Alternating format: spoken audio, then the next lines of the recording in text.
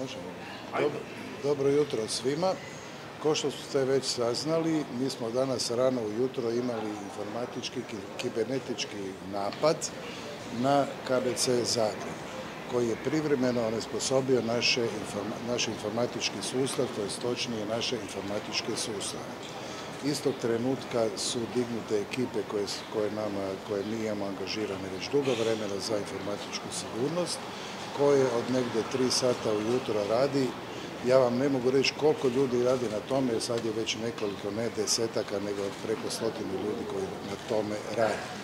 Ono što je bitno reći, sigurno da je to problem nama, ali bitno je da sigurnost bolesnika nije ugrožena niti u jednom trenutku, da ono što se dan do, do jutros utipkalo na računalo pa isprintalo, sada se Znate li išta o porijeklu ovog e, napada i s druge strane što od tih stotinjak ljudi koji radi malo tu nekog problema predviđaju kada bi se vratiti funkciju?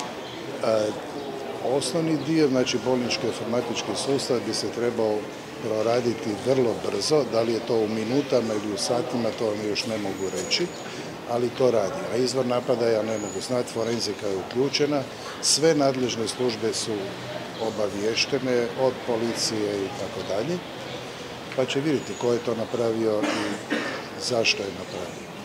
Mnogo je pacijenata koji danas nisu uspjeli obaviti svoje preglede na naručene kontrole, a znamo da nisu svi iz Zagreba dolaze iz drugih krajeva Hrvatske što Preglede će svi obaviti. Problem je, mali problem je u tome da se duže traje printanje nalaza. Ali niko neće biti poslan doma zato što je se srušio sustav.